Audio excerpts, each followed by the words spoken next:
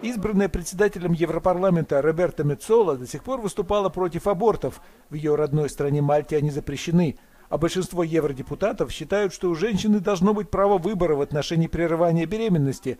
Наш корреспондент Грегуар Лари спросил у Мецолы, на какой стороне она теперь? Позиция парламента – это моя позиция. К примеру, я высказала эту позицию в случае с Польшей, когда закон об абортах был представлен в польский сенат. Я поддержал эту позицию, потому что это была позиция парламента. Именно так я буду поступать на протяжении всего своего председательского срока. По этому вопросу позиция парламента однозначна и ясна, и это также моя позиция. В интервью Евроньюз Мецола также подчеркнула необходимость соблюдать по всему Евросоюзу принципы правового государства и демократии. Председатель Европарламента намерена также блюсти общие ценности. Наша палата подтолкнула Еврокомиссию к тому, чтобы обеспечить наличие механизма верховенства права. Он каждый год объективно оценивает с помощью объективных стандартов и механизмов ситуацию с верховенством права в каждом государстве-члене.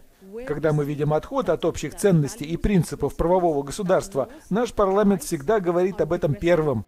Могу заверить вас, что именно так будет происходить в течение следующих двух с половиной лет.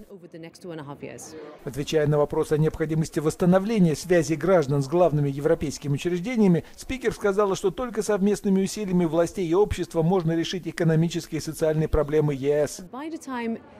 Ко времени следующих выборов в 2024 году у каждого члена нашей палаты будет что показать своему электорату, когда станет известно, какие из приоритетов и наказов избирателей были реализованы.